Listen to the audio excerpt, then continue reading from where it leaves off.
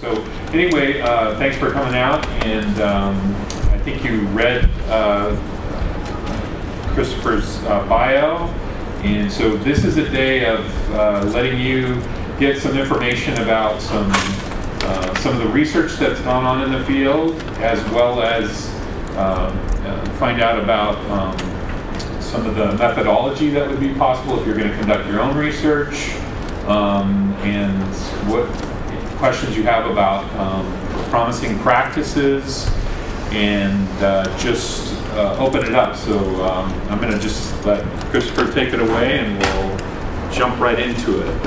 All right. Well, thanks for having me, everyone. Um, and feel free, uh, you know, just keep eating and doing what you're doing, uh, and don't worry about me. I, I, I want to make this pretty interactive and, and conversational a, a, as we go forward. But since you are eating right now, I, I, thought it might be good to kind of walk through some of the examples of outcomes of research that we've done uh, at the University of Minnesota. Just a very brief overview, and not anything nearly as in depth as what we'll go through tomorrow. Uh, um, and, and I thought this might actually be better than, than trying to kind of walk through research methodologies proper because I, I found uh, my background is in political science um, and, and, and yeah, I, I, lecturing to people about research methodologies in a generic way that doesn't really sort of fit with what you're interested in doing uh, is, is death. Uh, and, and, I don't think any of you want me to do that. So I, I, thought I would show you some of the results that we've had. We can talk a little bit about the research designs uh, uh, attached to them, um, some of the measurement issues. I think David has, has some handouts that was distributed to, to you as well of our instruments. Um, but I figure if I talk about that and then I can open it up and we can have conversations about what you're interested in, what you're thinking about, uh, whether it's methodological or very sort of narrow questions to your own individual projects, we, we, we can do that and just make it sort of very lunchish, brown baggish, uh, and conversational um, if, if, that works for you. So um, these are our active learning classrooms, what we have on, on the, the, slides for you here. Um, we initially built these at the University of Minnesota, I want to say in 2006, 2007, with a pilot classroom uh, of about 40, the seated 45. So there were five round tables uh, in, in, in, those rooms. Uh, and that was followed up fairly quickly by a larger room that seats 117. And that's when we really began to get into the empirical side of research, researching the impact of, of these spaces. We had done some initial pass-throughs uh, on the pilot classroom with a pilot study that was basically gauging the thermometer feeling of how faculty and students were responding to the rooms. Did they like them? Was there enough space for their coats and their book bags? Um, was the lighting okay? Was the temperature fine? And, and, and, that kind of thing, just to kind of get a gauge of what whether or not people were liking the rooms because they were thinking longer term about doing something like this, which is to build an entire classroom building that is chock full of these things. Um, and so before they wanted to move on to expanding that, they, they needed to get a gauge on whether or not folks liked them. They knew that from Bob Beichner at North Carolina State and from Yehuda Dori and others at MIT that, that there was evidence that they worked uh, and also that, that folks generally liked them. But you know, one size does not fit all and, and you need that external validity on, on the research that you're doing in order to, to justify this kind of expense. So in the fall of 2008, uh, I was brought on board as a co-PI on our Learning Spaces research project. Uh, and we had four classes and three instructors with whom we were working. There was one instructor that had two sections of the same course that became that became sort of the backbone of, of, of our initial findings about the impact of, of, this space. But we really didn't know what it was that we were researching. Um, in terms of what aspects of the room to, to sort of go at and, and, to take a look at. So we, we looked at everything from environmental conditions to, to actual physical accoutrements in the room to try to gauge student and faculty reactions to, to those things and, and what was going on there. Um, we developed a, a, rather lengthy survey that, that asked them to, to evaluate uh, using a variety of Likert scales. Um, uh, their experiences in the room, their perceptions of the impact of the room, as well as their evaluation of, of the room. We also hired student, uh, uh, uh, undergraduate students to help us do course observations. Uh, and we trained them all in the research protocol, had them actually contribute to the evolution of that research observation protocol. I, I, I see a copy of it, of, of some of it over there.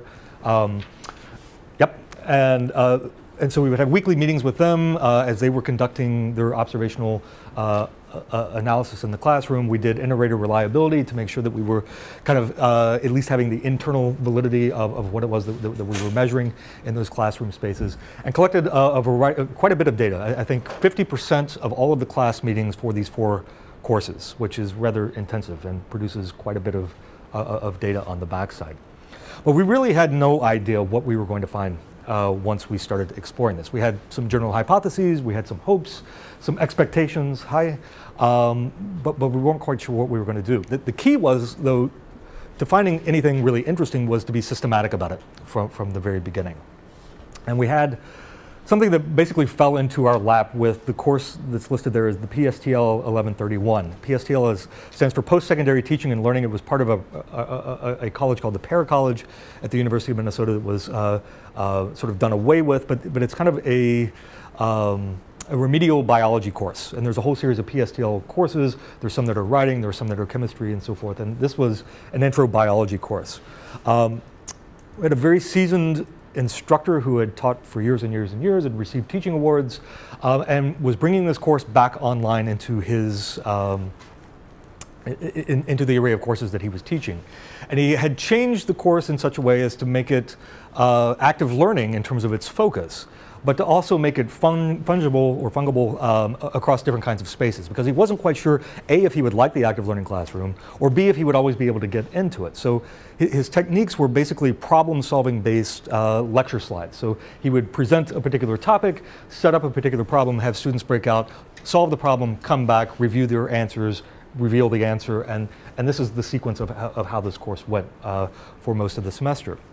The thing that made this really interesting for us from the research perspective is that he was teaching two sections of exactly the same course at exactly the same time of day on Monday, Wednesday, and, and Tuesday, Thursday rotations. Um, everything was the same. The book was the same, the exams were the same, everything was the same with the exception of the space, which allowed us to, that, that is the only thing that systematically varied across the courses. So it is a naturally occurring quasi-experimental design in the classroom. And as a political scientist who never gets to do experiments, we could never really experiment on populations, uh, this was quite exciting. Um, so that was the first major component of this quasi-experimental designs that we, we had. Um, at the same time, that same semester, we began what became a longitudinal um, quasi-experimental design with the FSOS 3101, which is on the vertical there. Uh, the instructor that was participating in our ALC research in the fall of 2008 was also one of our faculty fellows. And our faculty fellowship program is an 18-month uh, intensive faculty development program where we uh, faculty typically go under, undergo a course transformation project. Uh, they receive $10,000 in support of that individual project. We meet monthly as a group, as a cohort, and they are also responsible for a collaborative project that is sort of a, a high level thing that gets pushed up to administrators um, and even nationally in terms of making recommendations about how to use educational technologies in the classroom and to change policy and so forth. Well, Catherine was really excited. This is a family social science course that deals with um, with family planning finance. Uh, and she had taught this for years and years and years in a lecture hall environment. And she was really excited about the prospects of being in the active learning classroom, uh, which she wasn't quite sure if she would ever be able to get into it regularly because biology owned that space. So her getting in to begin with was a challenge. Her being able to stay in there would even be a further challenge down the road. But we finagled it so that we could do this longitudinal quasi-experimental design, where she basically packed up the course as is and moved it into the active learning classroom in the fall of 2008. Then over the course of the faculty development, uh, faculty fellowship program, she changed the course and brought it back into that same exact space one year later and taught it with a more active learning approach. So on the first one that we have there, we're, we're holding the pedagogy constant and focus and allowing the space to vary systematically. And on the other, we're holding the space and the instructor and the course constant, but we're allowing for the, the, uh, the pedagogical approach to vary systematically. And the, the, combination of these two things is really important because the work that, that Bob Beichner did at North Carolina State and the work that was being done by Dori and others at MIT really confounded both space and pedagogy. Uh, if you read their articles and so forth, they were doing simultaneous course transformation while putting them in these spaces, and they were getting these bumps that, that were significant and important, um, suggesting that the space was having an impact. But we didn't know whether it was the space or whether it was the pedagogy. Um, and so what we were able to do here was to isolate that, uh, isolate the impact of both. In the spring of 2011, we were able to replicate the first experiment with another biology course. Um, basically, an instructor came to us and said, hey, would you guys like to replicate your experiment? And we said, oh, you bet we would. Uh, and so, you know, the opportunity to do that on the front end was pretty rare and exciting. The opportunity to replicate that uh, again with another instructor um, was also very exciting for us. So those are the research designs, and, and, we're thinking about these things, you know, very early, early on in terms of how to structure this, how we might think about which variables we're going to look at, either longitudinally for Catherine's case, or what kind of controls that we need to have in place for, for those other two courses. So rather than going through all of the results, I, am just going to give you kind of a, a quick one, two, three on on the major findings with regards to those. This is the PSTL 1131. This is the first, the first one that we had. Um, students in the active learning classroom in that course uh, had a significantly lower ACT score than students in the traditional classroom. And it was by default. Uh, there, there, was a small cohort of students uh, uh from a non-traditional student uh, cohort, uh, part of what we call a TRIO program uh, in, in, Minnesota, and they were occupying that active learning classroom thing surely by virtue of registering for the lab associated with that course. And so as a cohort, all of them were registered, registered for the same lab, and it happened to put them in the ALC. So their ACT scores were lower significantly than, than the traditional classroom. Um, but given what we know about ACT scores predicting first and second year student grades, we would have expected to see significant differences in their grades on the back end as well. And that's not what we saw. In fact, the students in the active learning classroom caught up with and matched their peers in terms of their grades. So we have the actual grades there represented by the, the, the um, maroon bars, and those differences are not statistically significant at, at all with one another. Um, but using a point estimation model, basically using ACT scores and regressing that onto grades, uh, um, we are able to give you what, what, the, what they should have gotten uh, had, the, uh, had the ACT scores uh, mattered uh, in the same way that we would have predicted. And so you can see there that that, that difference, okay, how should I explain this? The difference between the expected columns, the two yellow columns, is significant at the 0.05 level. But the difference between the students in the ALC, what they should have gotten versus what they did actually get is significant at the 0.001 level. So that's a five point percentage difference between what they actually got and what they should have gotten, and it's highly significant. It suggests that there's only a one in uh, 1,000 chance that, no, one in 10,000, no, one in 1,000 chance um, that, that this is by accident, right? So this is a systematic result of the space. Now, we're very careful to say that you know it's not the space that is actually you know physically acting upon you. It doesn't have agency per se. It's it's what goes on in the space or what the space allows and, and affords that probably is the thing that, that that is the mechanism at play there. And of course, that's part of the ongoing research that, that we're trying to do is to understand better the mechanisms that are actually at play in the space. But this was our, our, our first major finding that, that the space was having a positive and independent significant impact on student learning, holding all other things constant uh, which is pretty impressive. And this was what we published in the British Journal of Educational Technology um, and sort of got us on the road of, of doing more of this research. This is the replication of the experiment that we had in the spring of 2011, so two and a half years later, and we pretty much got the same results uh, with a different instructor, different in course, but, but the same sort of controls in, in place. Again, uh, the difference between the expected and the actual was uh, significantly different at the 0.05 level. Again, ACT scores were significantly lower in that same class, but again, simply by default. Uh, uh, there's no systematic reason why the ALC section had lower ACT scores. But what they should have gotten versus what they actually got was also significantly different again, this time at the 0.0001 level. So a 1 in 10,000 chance that this is by accident. So in the field with under quasi-experimental conditions, we find first, first of all that there is that significant positive independent impact, and then we replicate the experiment a couple of years later and we get the same results, which um, outside of laboratory conditions and being able to produce, you know, absolute controls over, over, over let's say hard science, this is about as good as I think we can get from a social science perspective. So we get confirmation that the space is doing something there. And then from Catherine's class, her students were pretty much identical in terms of all of their demographics on the backside. Even their ACT scores were the same this time, so they all started off on the same level.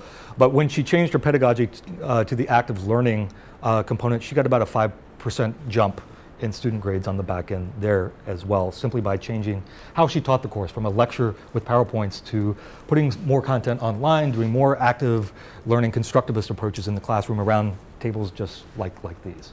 Um, we also unpacked that grade data to look at the quartiles. Um, students from all four quartiles improved. Um, there were significant differences across each of the assignments, so no one assignment was, was leading to this big jump that we're seeing there. So in many ways, what we have here is a validation of, of the Beichner and, and, and Dori research that was showing that the spaces mattered. But what we've done is to unpack it to show that the space has an effect and pedagogy has an effect. They, and they work together. Well, if we combine them, then the theory is that it could even have that much more of, of a greater impact that way. Yeah, absolutely. Do some students benefit more? Is there a larger gap between expected and observed for weaker students, stronger students, it's across the No, uh, uh, for, for this one, uh, for, for the others, there was no clear pattern. Um, uh, I think in one of them there was actually no significant difference across all four quartiles. In one of them there was like a middle section that improved significantly more, but there's no real good way to explain why that second quartile should have that. For this, all four quartiles benefited. So it, this was a, one of those rising tides lifts all ships uh, outcomes here. Yeah. Um, when, they, when you talk about the active learning, that are you talking about the space or the this? Okay, it's lecture versus because I'm thinking like the space we're talking about here. I've been in this classroom, mm -hmm. but at times I'm we've got the upstairs classrooms. They're not configured like this. They're configured in lines of desks, right. but the roles are writable.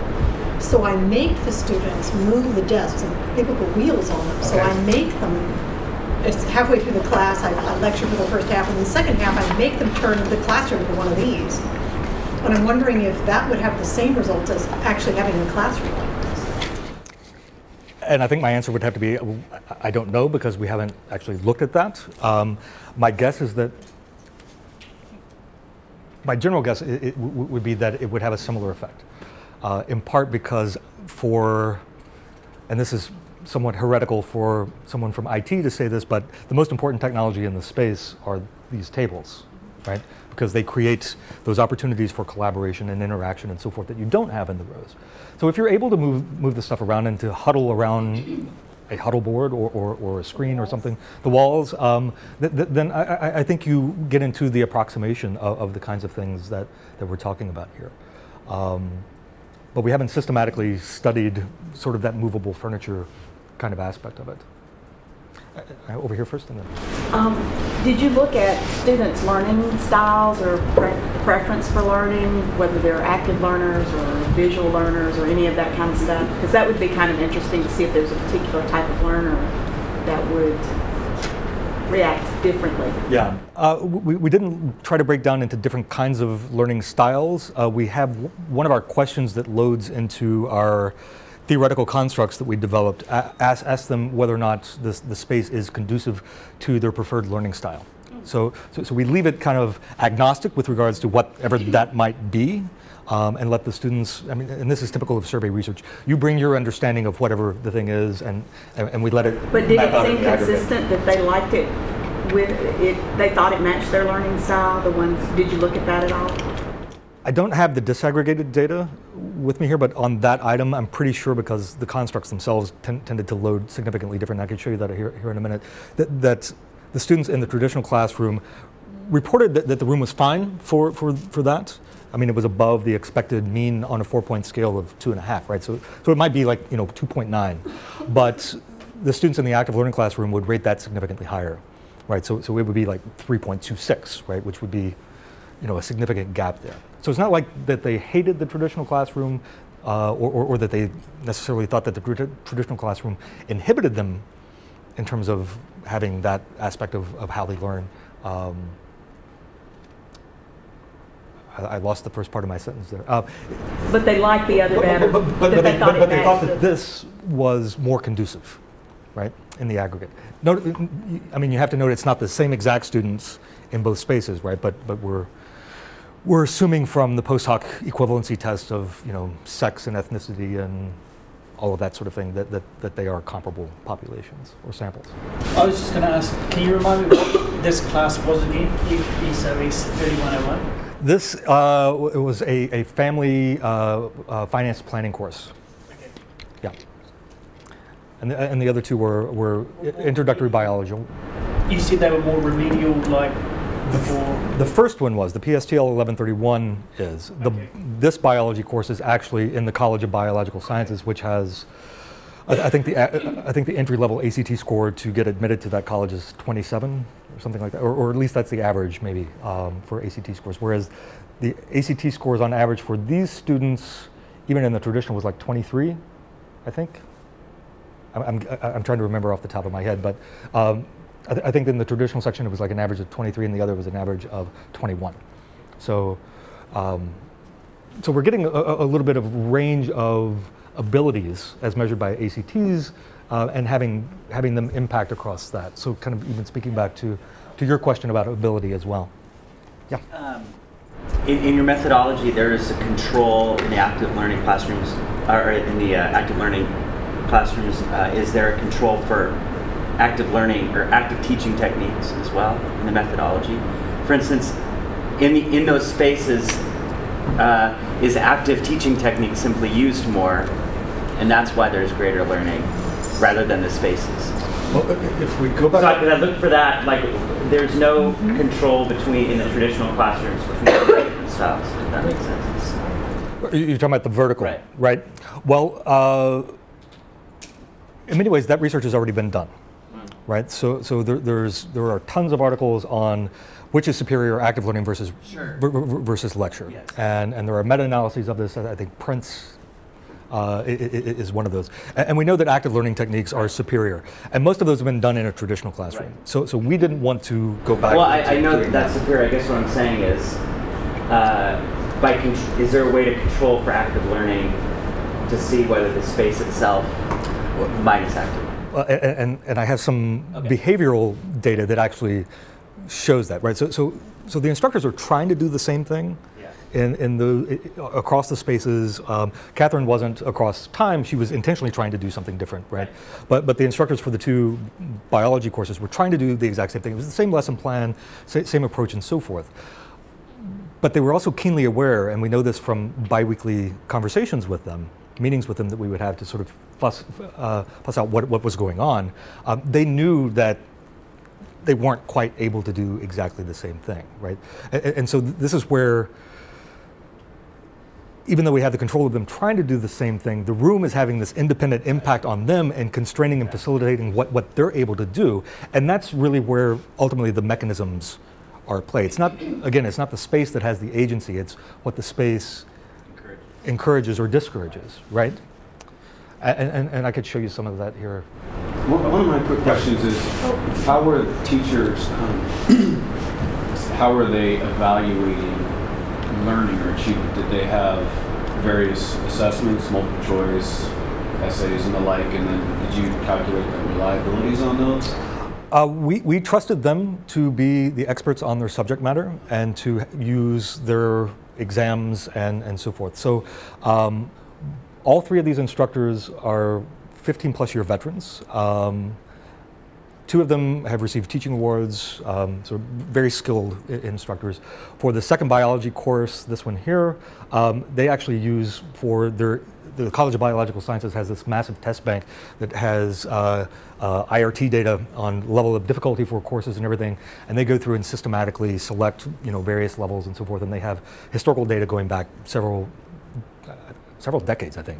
Um, I, I'm just wondering, because sometimes if you taught a course and you understand sort of the intricacies and then you understand your assessments, you you automatically sort of align your objectives with your assessments. And I could teach in the parking lot and sort of get some amazing results because I sort of know what I want them to do and how I'm going to get them there. Not to suggest that Right. any of that's invalid, but um, the more I understand of my my goals and individual objectives, and the more I align those with my assessment results, I get kind of a restricted range of uh, I get more people performing like I want them to perform than in comparison to say a normal distribution of performance. Right. Does that make sense? I mean, that's just a question. No, and, and, and I, I- I think you're right. Uh, that, that we, we oftentimes try to rig the game to, you know, help the students learner to really assess, uh, you know, what it is that, that we're wanting to get out of that. I don't know if it's rigging. I mean, it could just be alignment. Like I, I want to get them. Here's what I want Yeah. for them, and I know how to get them. I was just being colloquial. I wasn't. I wasn't. It feels like rigging. But if, I mean, if, if that's the case, right, you have the same person doing it across those two different spaces.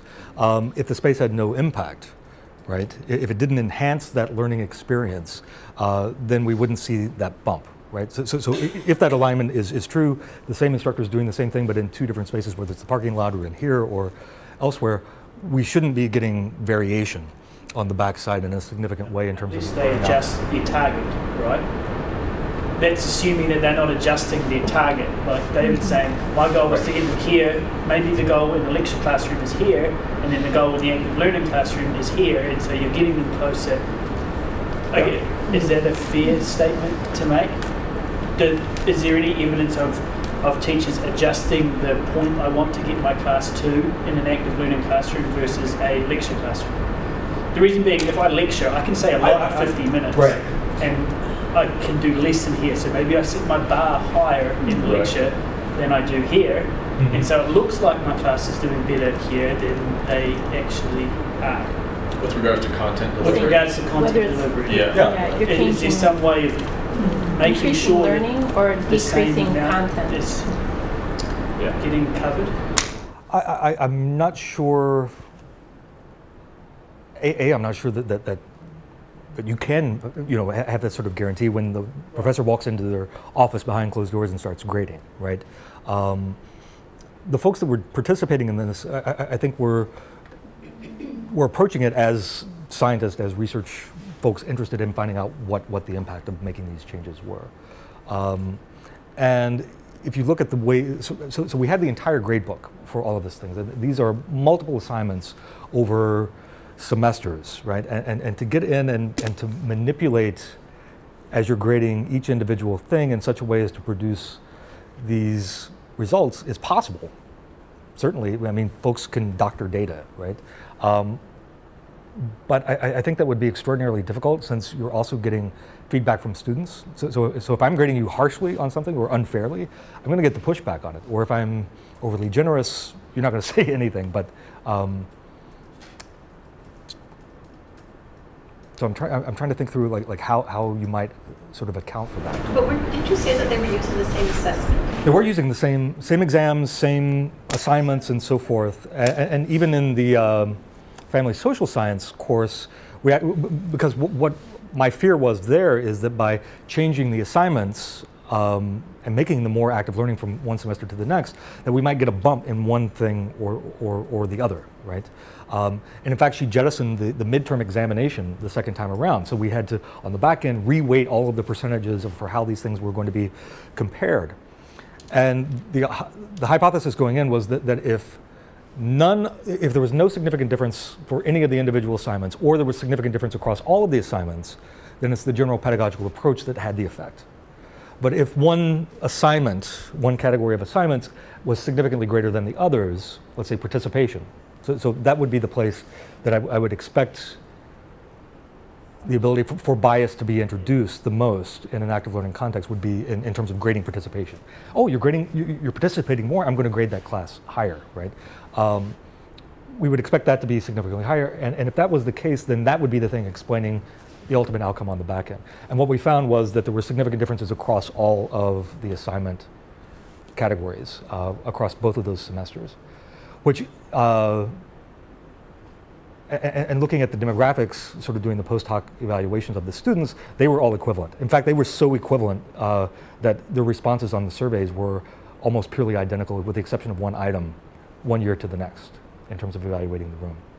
So, so we had quite a few controls in. We're not controlling for everything, and, and there is, there, is of course a greater error, possible error term on the backside than you might have in a controlled laboratory experience. But, but that's sort of the nature of the social science.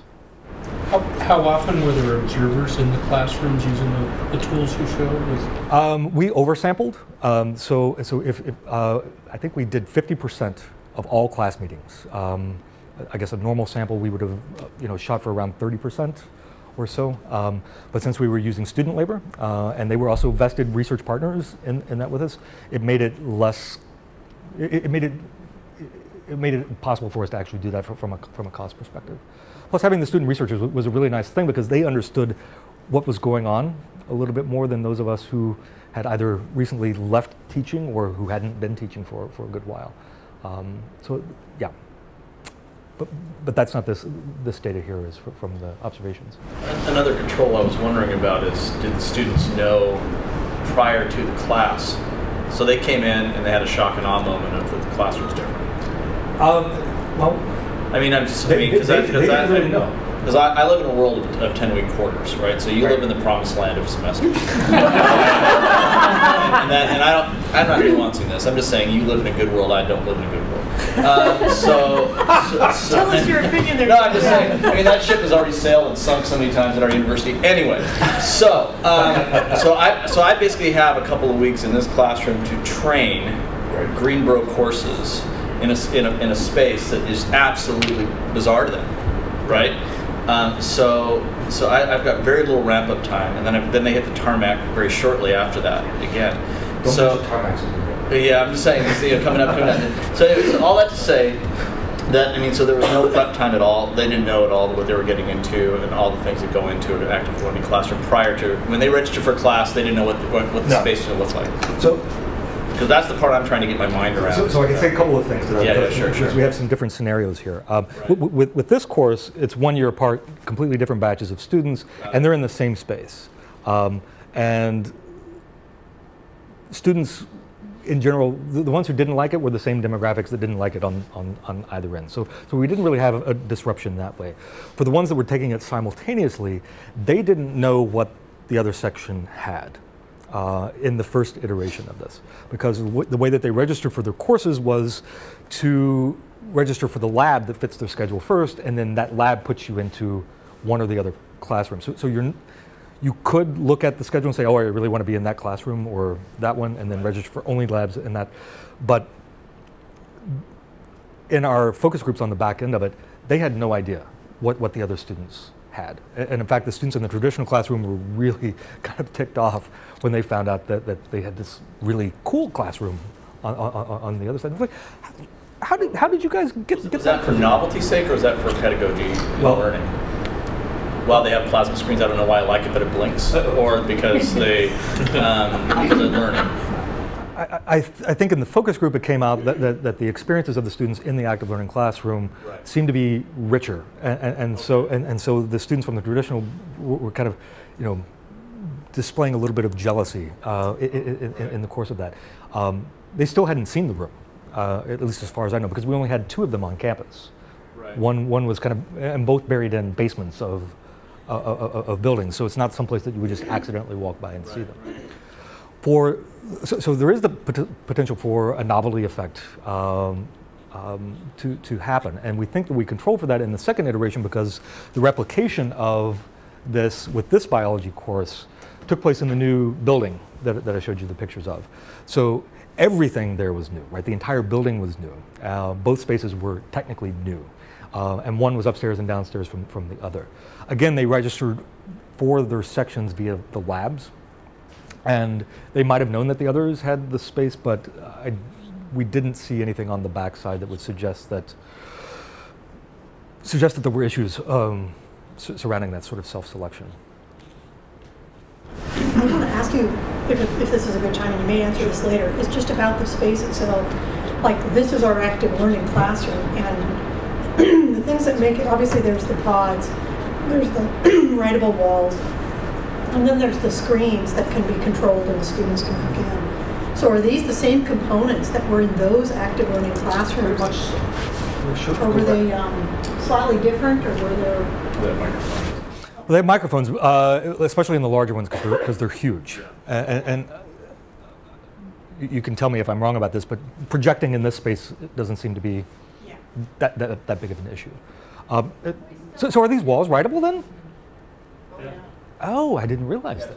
Oh, Okay, but because I was about to say that that's the thing that's missing, but but it's not very nice. There are still issues because you can hear the air here, Uh-huh. and so when you try, when the students try and talk across the room, it's, it's Yeah. really, and, and the students start to disconnect because they can't hear each other. Right.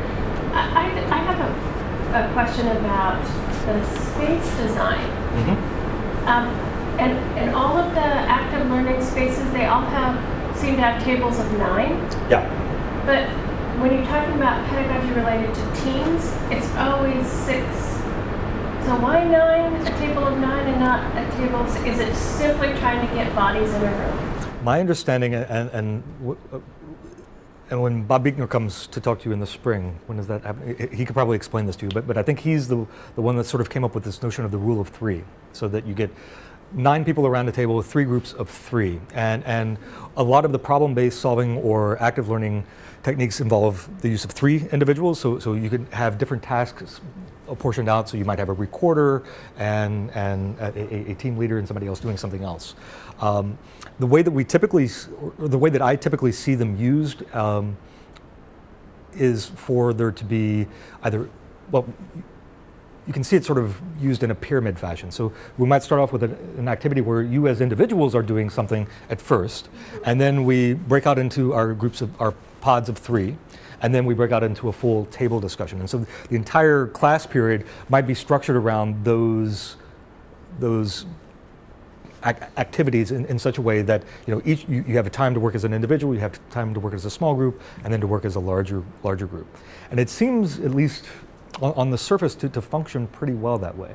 Uh, I, I- do know that you know that there is the, the literature surrounding you know the, the, the, number of six and so forth, and and certainly we see some flexible, more like physically flexible room designs that, that play off of tables that accommodate uh, three and then going to six, where where you can put them together. The room that we were in this morning uh, over in the library has tables like that that I think would be conducive to, to six people working.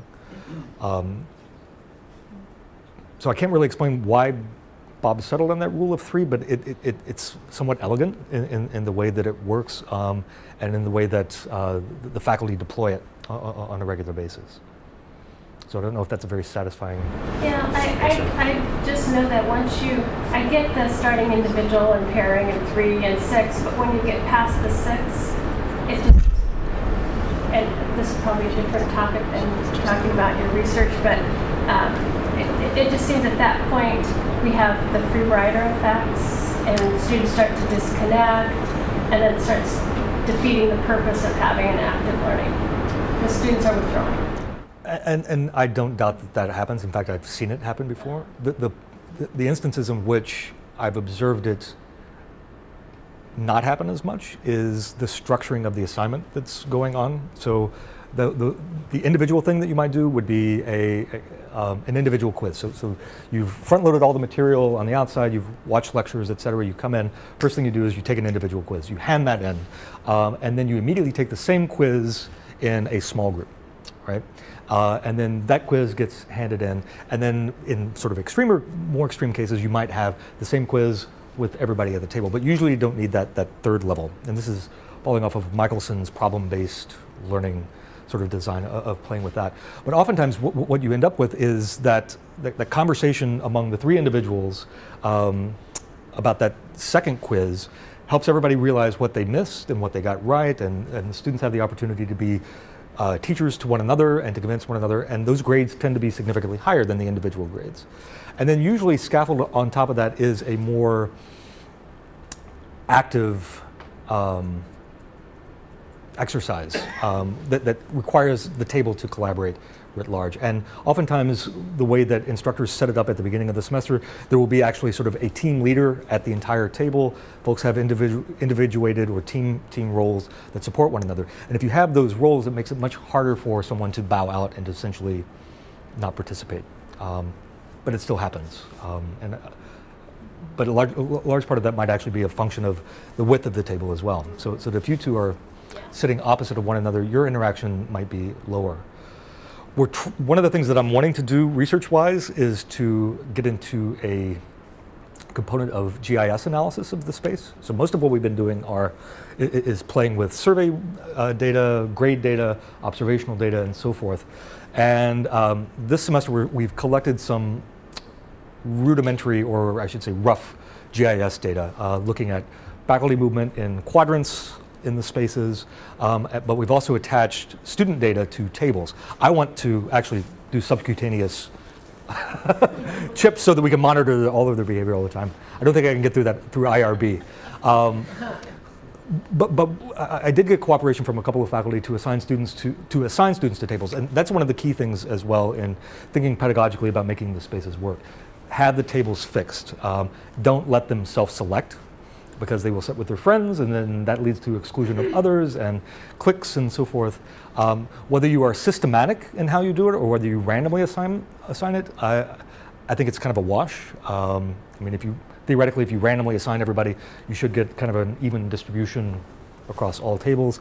But if you're in a situation where you have, you know, maybe four women in a class, you don't want all four of those women to necessarily be at, at the same table, or maybe you do, right? I mean, so, so you can you can rig that up to, to do a, a few different things. Um, I lost my train of thought, getting sidetracked by.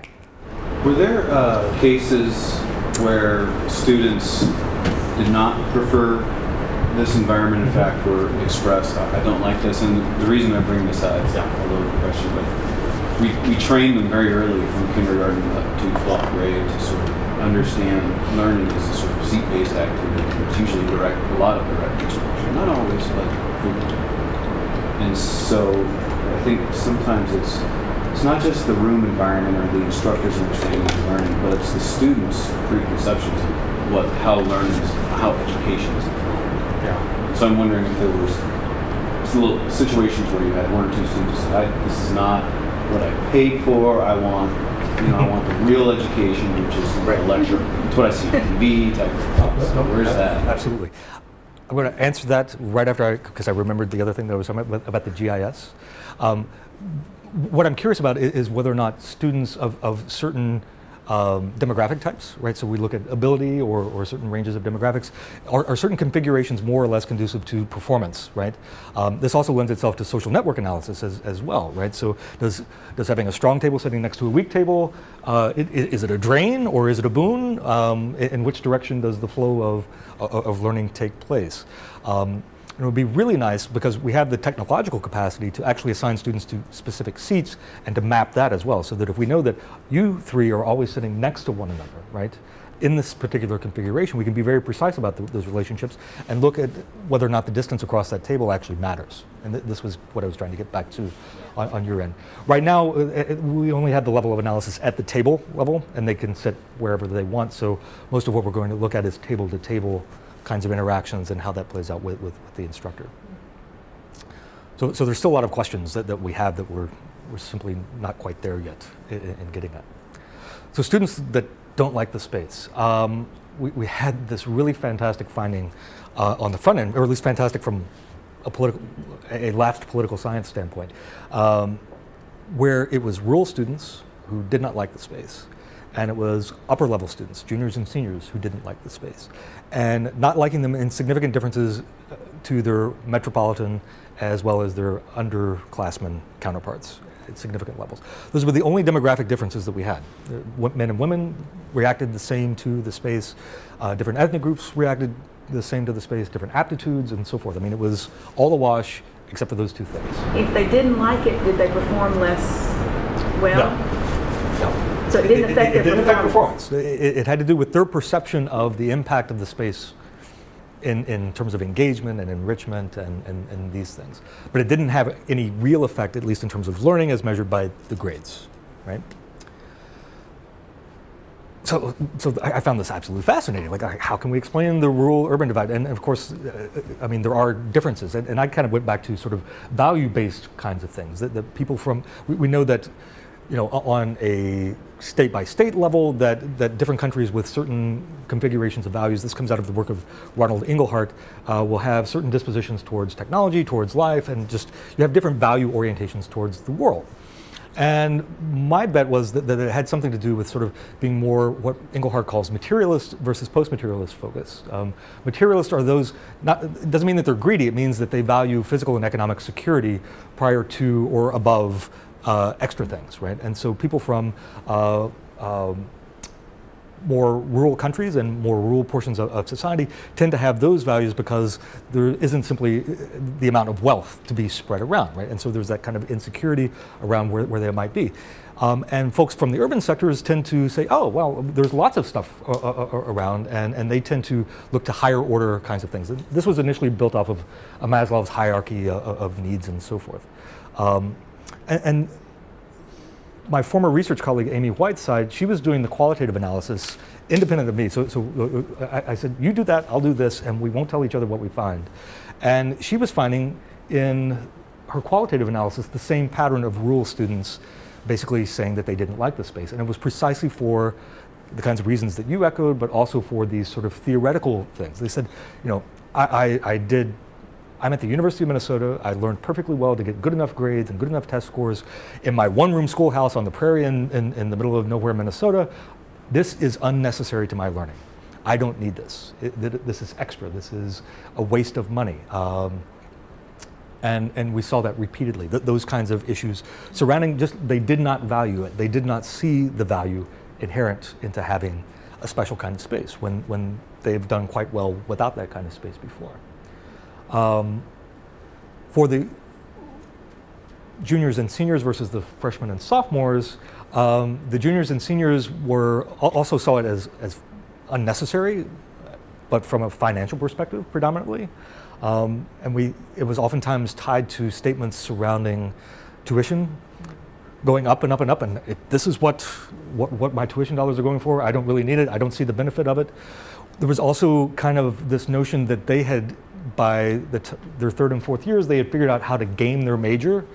They learned how to learn in their major, and suddenly being thrown into a new space and being having to actively learn was off-putting. Uh, they, they, they wanted to be told what they needed to know, um, to have their you know noggins opened up and filled up with information so that they could regurgitate it on exams. And they didn't care for it at all. The freshmen and the sophomores were like, this is so cool. There's so many opportunities here. I can, I can explore and do all kinds of neat things. We've subsequently found out after a few more cycles of survey data that those significant differences have converged.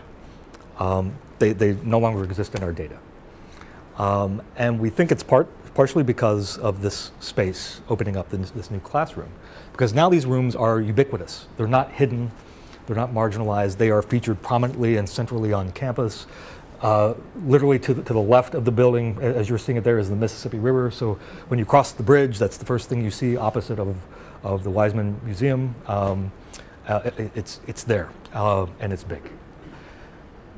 The data, I think, show that 35% of all degree-seeking undergraduates went through that one of those active learning classrooms last year, um, which is huge. And if you start thinking about even with repeats, pretty soon you have saturation, right? And we think part of what has happened here is that by them being so prominent that um, the rural kids just don't really see them as anything special or different anymore. It's just part of the landscape. And so the entire U is expensive, right? Uh, and, and, a lot of things may seem unnecessary to them, but this is part of the landscape.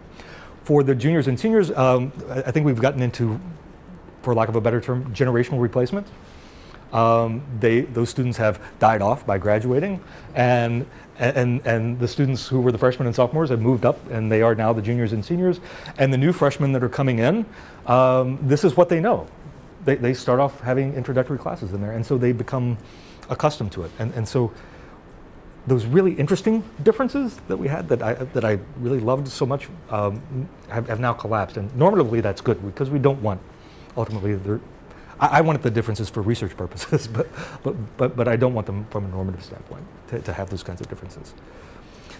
One other small group, and this is extraordinarily small because it's, it's almost purely anecdotal, um, are some students who have attention deficit disorders hate these spaces because there is so much going on and they and it might be one to three surveys that we get a semester out of hundreds but they will just say it's sensory overload. They, they, they can't really handle the input because there's something going on all the time. And even if it's just the instructor talking there's all of these things that are garnering my attention and too, too many too many things going on.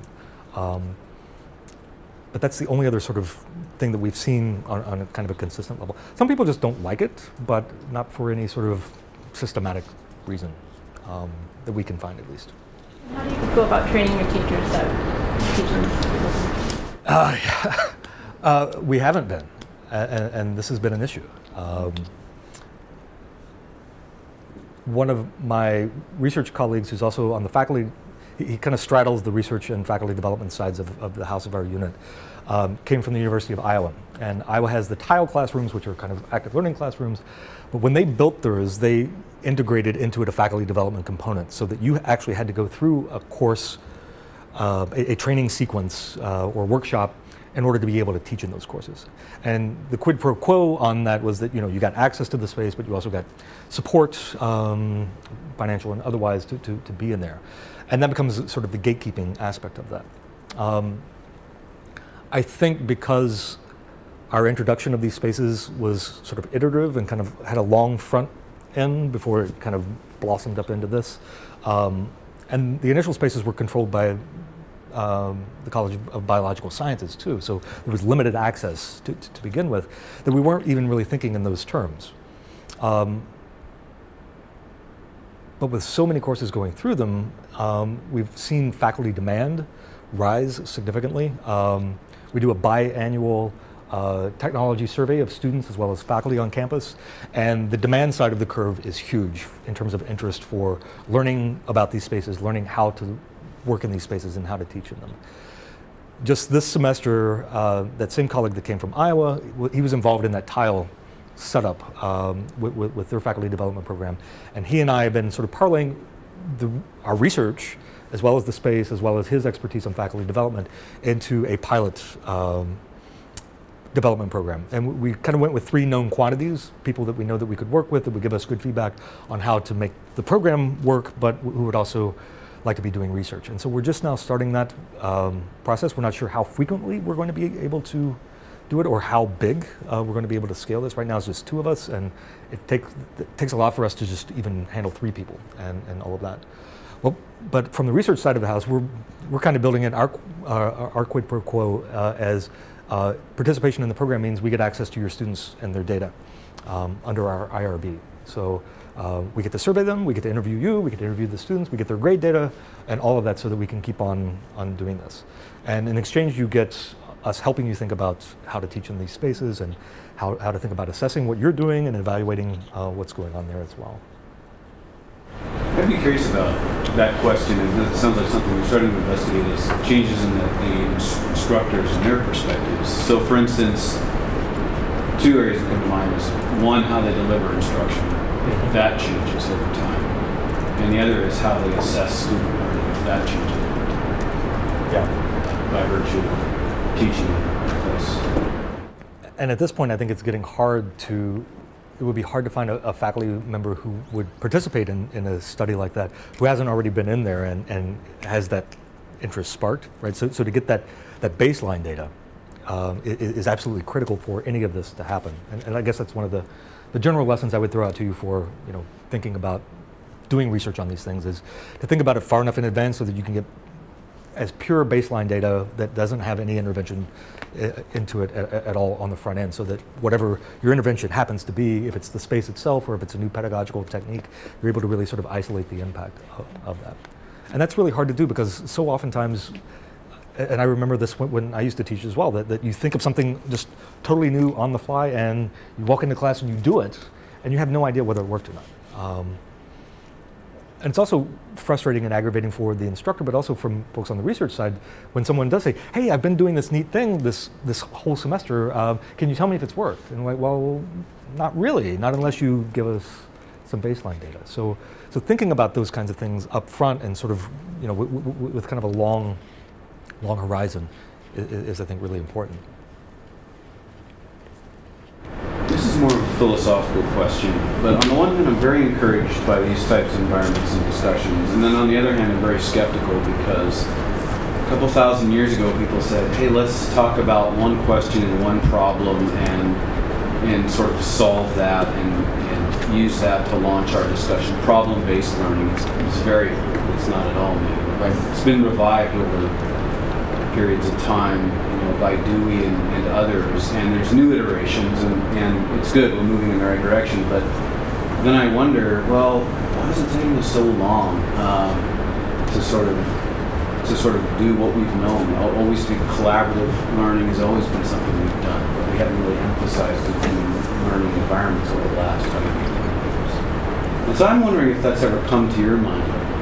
This is good, we're moving in the right direction, but do you feel like there are some still some barriers that are are out there, maybe we're not even completely aware of them in a sense, um, that might prohibit sort of continuing down this road?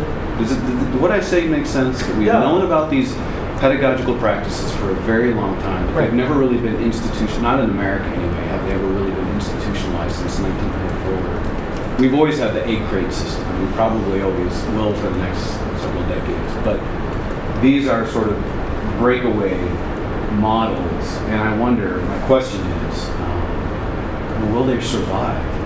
I guess it's. I don't know. I, I, I think actually building them and creating like the actual physical space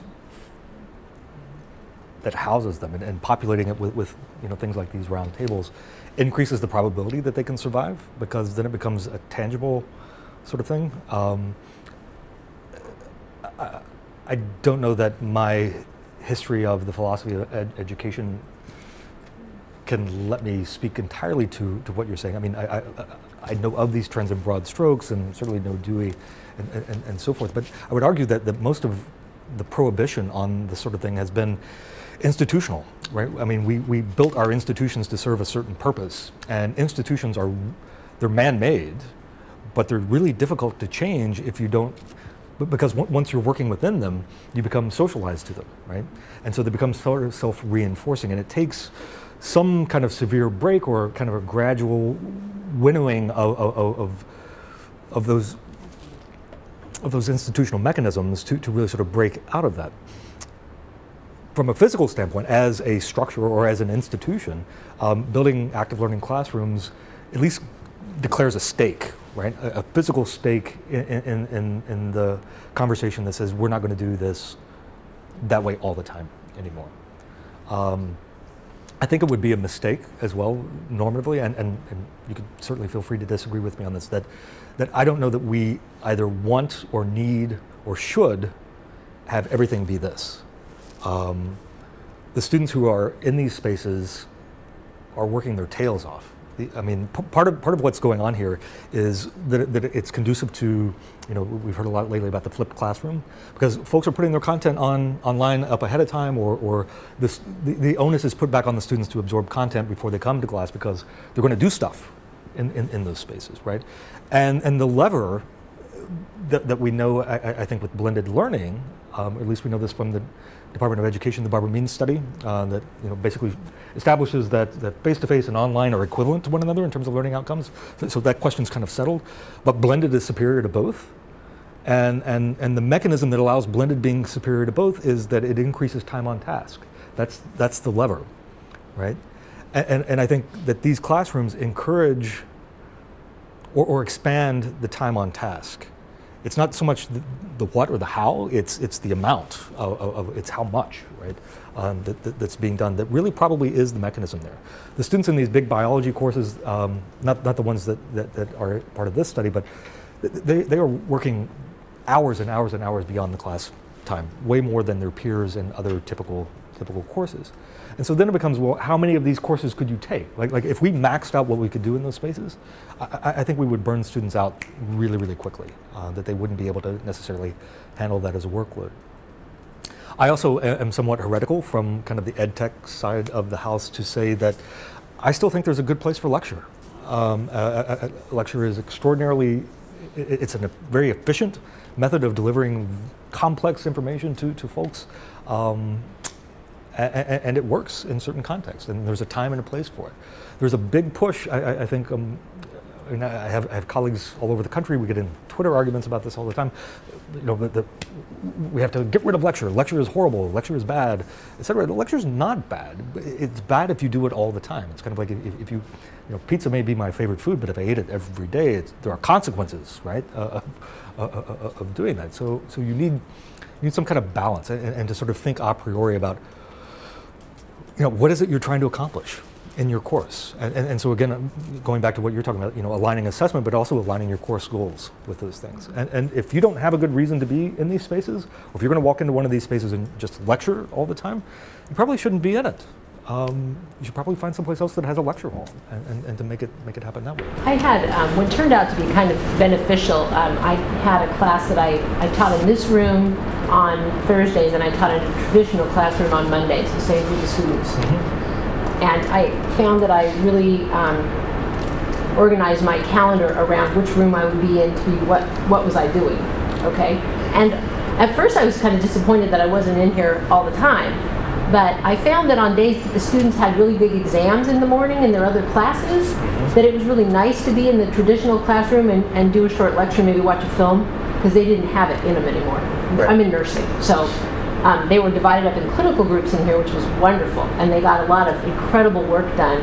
But they did need some downtime almost um, to yeah. kind of process, I think, a little bit. And so it ended up being a good mix. However, it would have been nice um, having you know having every other day like that was a little bit prescriptive. Right. It would have been nice to be able to pick and choose. Okay, this day would be better in here, but I realize that's a, an organizational nightmare. But yeah. I, I, mean, some of the more successful courses in these things are, you know, centrally run. So, so, so, there might be multiple sections of like these 126 student sections of biology, and, and, and there's one instructor that oversees all of them, and all of those teams are working out, and they've all got TAs underneath them, and so it's very controlled from, from above, and everything is planned out ahead of time. But, but if you're one instructor, and you're teaching maybe a couple of sections of the same thing, and, you want to mix it up a little bit, um, or, or, have the flexibility to teach it the way you want to, I, I can see how that could be quite constraining uh, in, in, terms of feeling like you have to be on all of the time. Um, I was talking with the, the, group from the library this morning about one of the other things we're exploring is uh, introversion, extroversion um, from the faculty perspective, um, because we've have, we've, we've, been kind of interested in this for a while, but we haven't really pursued it. And, and I have a colleague that's been doing quite a bit of uh, lit review on this. Uh, and what, what he's finding in his focus groups and in his interviews makes a lot of sense, uh, especially through observations and, and also from the theoretical standpoint. That extroverts really thrive on being on stage and up front, and it's performance, right? And there's an audience there, and they get their energy from that. But introverts, it's draining on them to have to be up there and to perform. It, it, it, they can put on the game face, they can go and they can do it because that's part of our job. And I, I, think instructors or university faculty tend to be, am I right about this? Tend to be more introversion? Like, I, I want to say that that's right, but I'm not absolutely sure. But, but it's part of our job, so, so, so we, have to, we have to do that. But in the active learning classroom, you know, one of the people, the, the woman who did the uh, replication of this study, her name is Sehoya Cotner, and she is a big personality. I mean, she is just like full of energy and, and everything, and she owns spaces. But she walked into this classroom for the first time, and it, it threw her off in, in incredible ways because she was no longer the center of, of focus, right? She's literally in the center of the classroom, but people have their backs to her now, and they're talking to each other and not paying attention to her. And, and it was very discombobulating because it, it, took, it took the energy away from her, right? It took the focus off of her. But we've been talking to some faculty who self-identify as introverts who find the horizontal nature of the space, the ability to form discrete conversations and relationships very energizing. Um, there's still a performance aspect. You're not completely, you know, you're still on, but it's less taxing to be able to set in motion a variety of tasks or activities around the room and then to go and check in.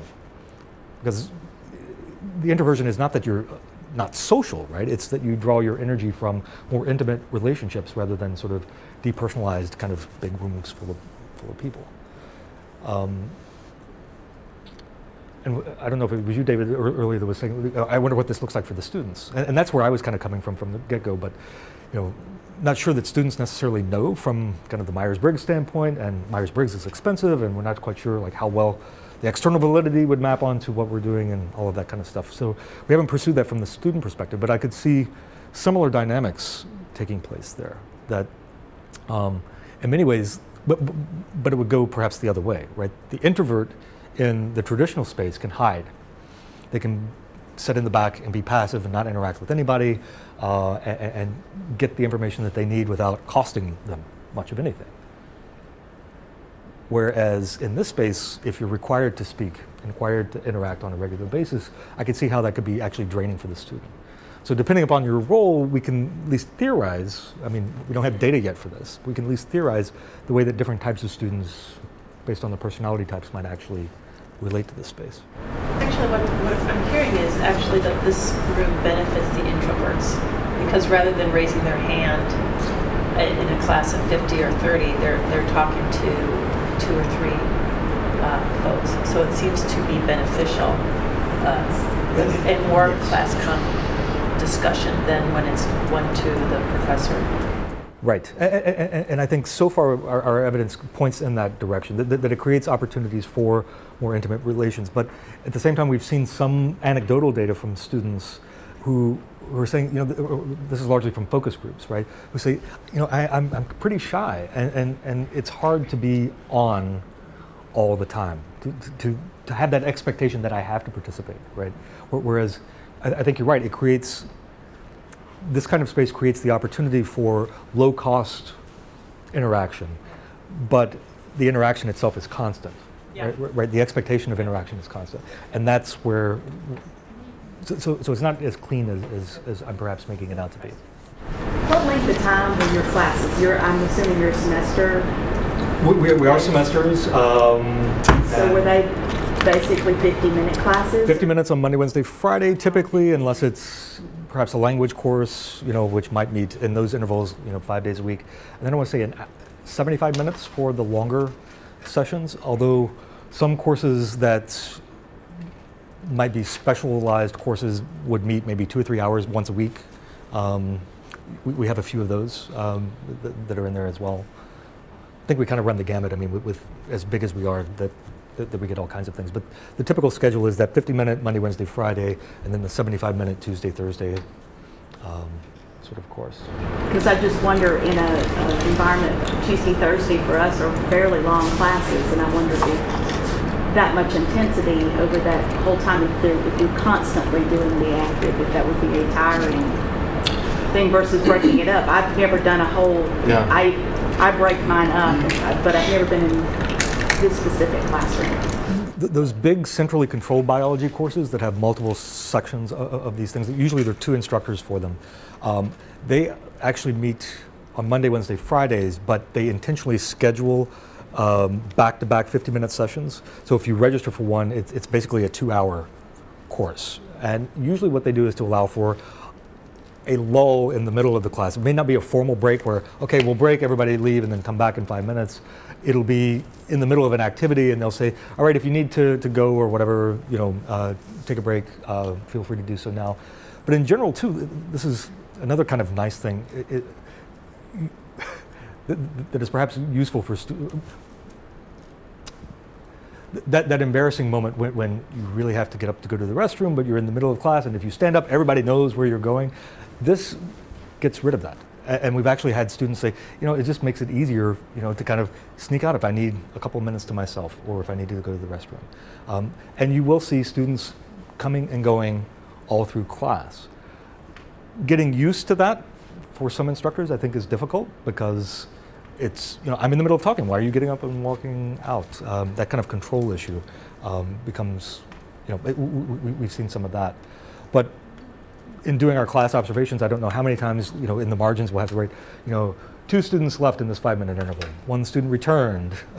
uh, another student shows up late, um, and, and sort of gauging that. And you know, you get more of that on the, the ends of the course or, or the en- ends of the time frame. But yeah, occasionally you'll have students just kind of wandering in and out, and most faculty seem to be kind of okay with that.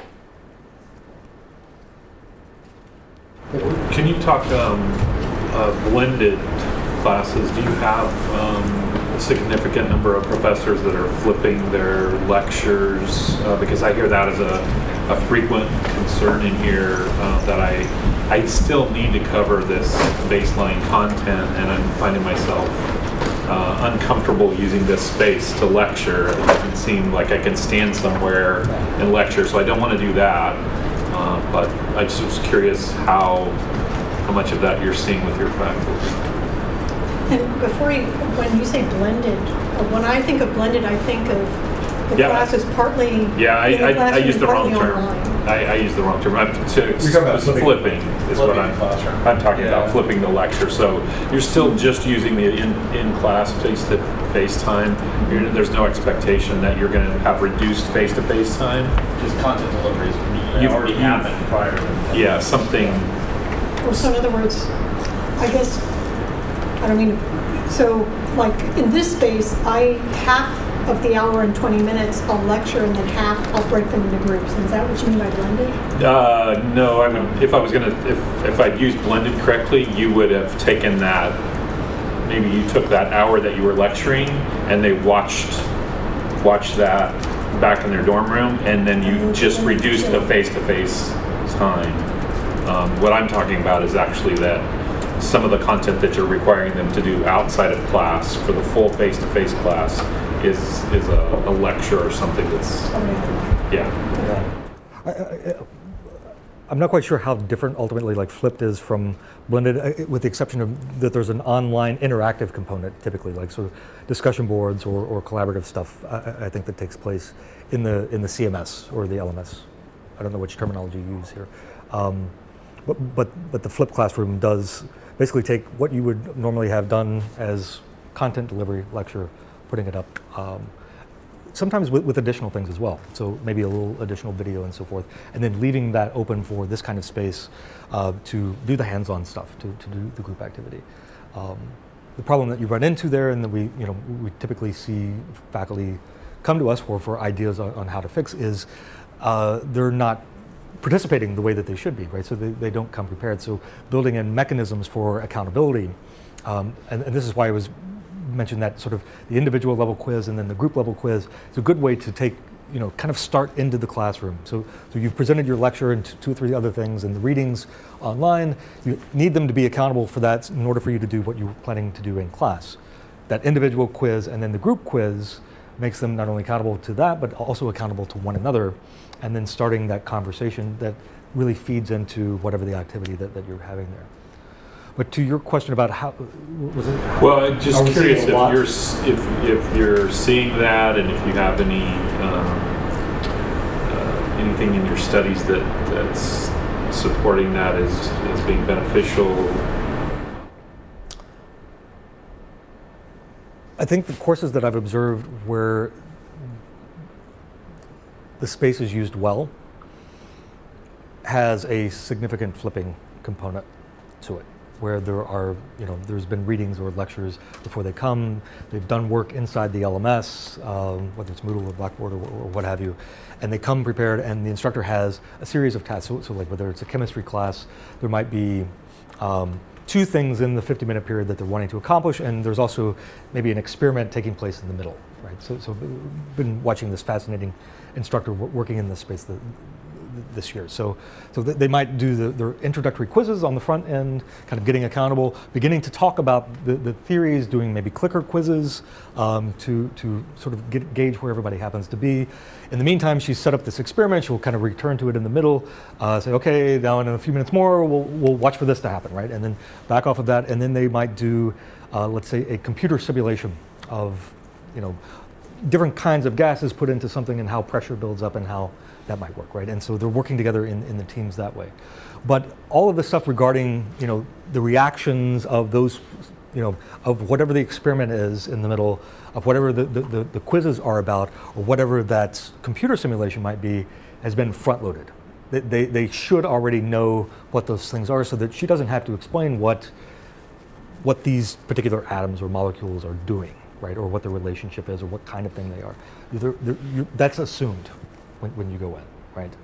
Whereas I think what we've, what we've done with lecture typically is to assume that, that even if they have done the reading, that they don't quite get it. And so you walk through the basics, right?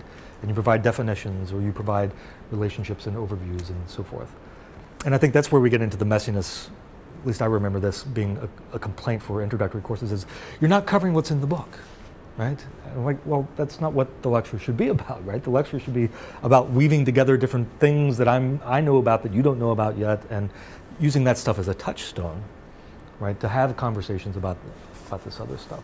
So, so when it's done well, I, I observe that.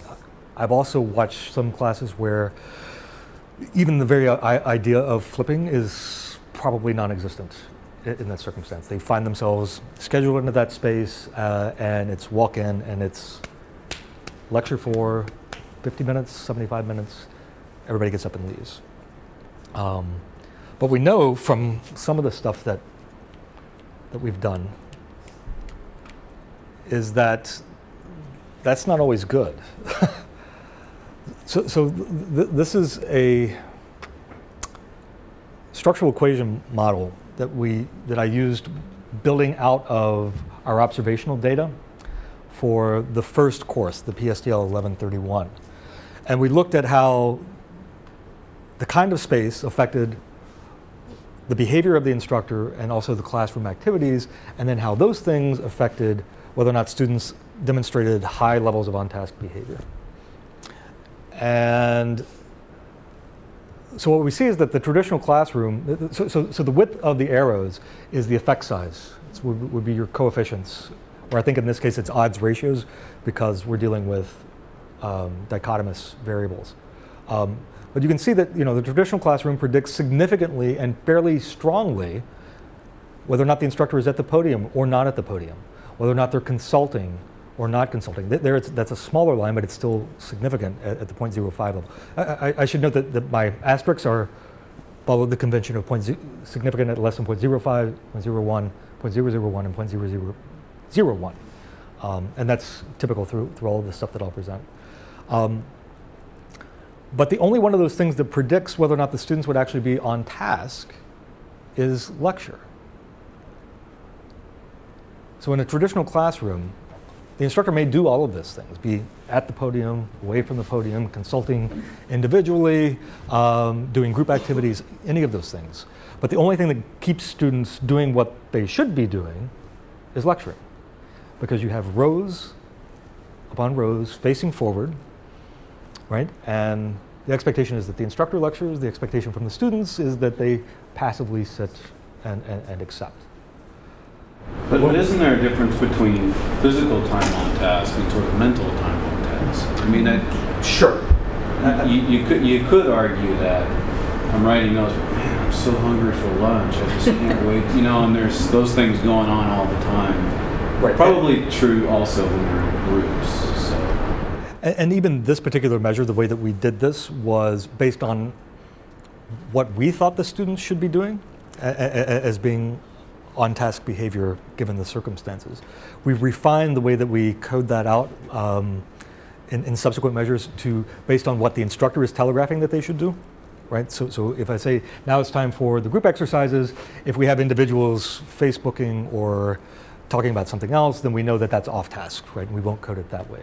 Um, and, and, so there's a bit of a mis, mismeasure in here. And it's also observational, right? I mean, there's no way that I can know whether or not you're, you know, going yum, yum, yum, yum, yum, right? Um, you might very well look like you, you are on task. And so that's why it's, it's our observation that they appear to be on, on task with that.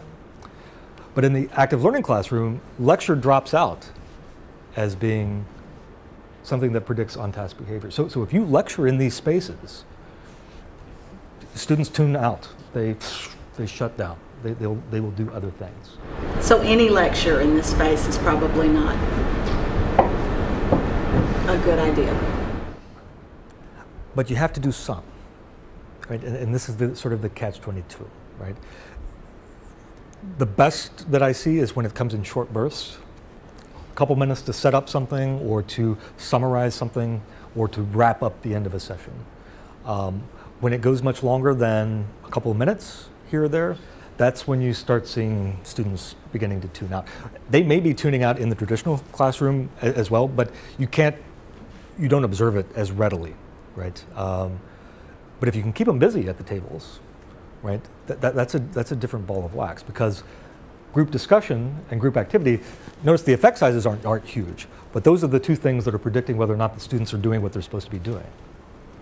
I would imagine that some of that can be overcome too if you were to say, okay, we've got, we finished that group project. Now we have 15 minutes where I need to talk to you about this topic. So if your back is to me, I want you to turn around and find a way to take notes. And so you can over, you can transcend some of that. May- Maybe not for more than 15 or 20 minutes, but to be, ex- do you see instructors being explicit? Telling them, I'm about ready to deliver instruction for the next 15 minutes. I need you all to turn around, or is it just implicit? I, I, I've seen them say, "Shut your laptops," Yeah. w- w- you know, and, and pay attention to this for right now, and, and, and certainly that, that will get their attention, um, but only for so long, right?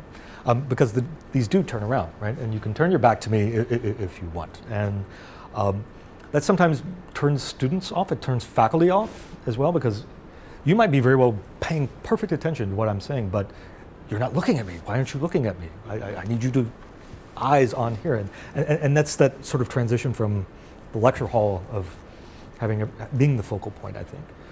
Um, I, I was relaying another anecdote from, from a faculty member that's part of that faculty development program that we're doing.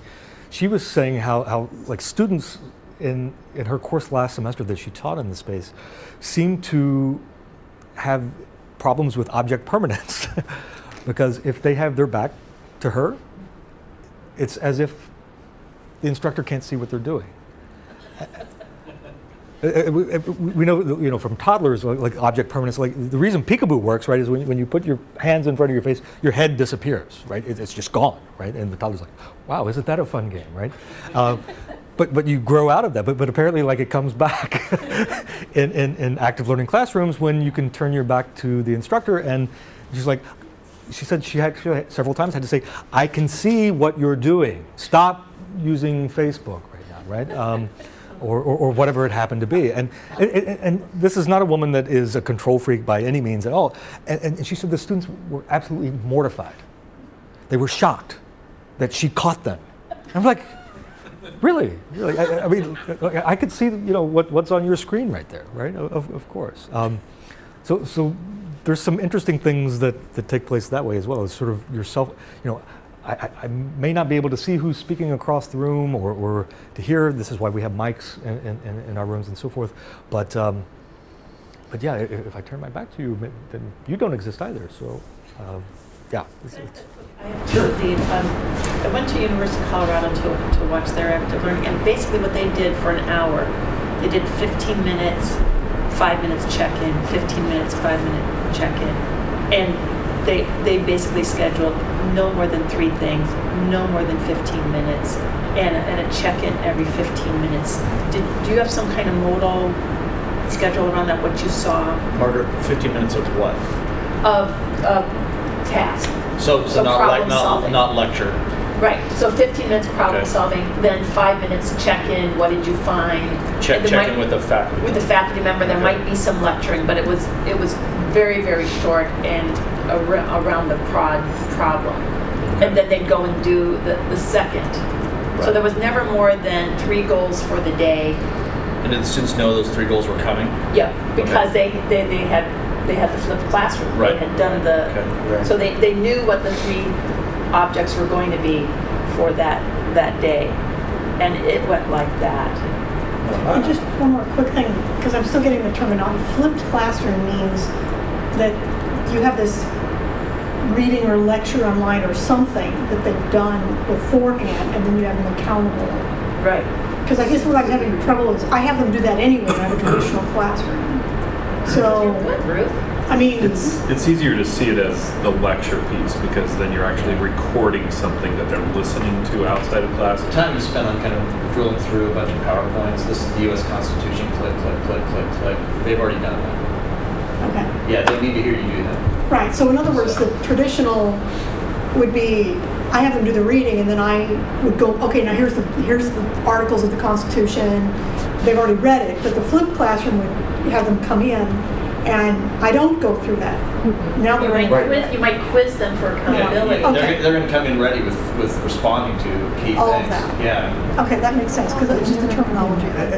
And the folks that typically do that, like where they put their lectures online too, they take that what is normally a 50 minute lecture and usually streamline it down to like a five minute level podcast thing. So, you know, i- i- if, if you're trying to explain, you know, uh, the post Civil War amendments, right? Uh, you, you, you don't go on about it for, for 50 minutes. You, you're like, this is what this one does. This is, or, or maybe make three separate podcasts that are very brief. Or using talking about it. Stuff, and they just kind of watch and listen to you do that. But, but, but you're responsible for doing that before they come to class. Right? So, so Less a lecture and more of a module. So here's an information module rather than a lecture. Thank you so much. You're quite welcome. Thanks for coming.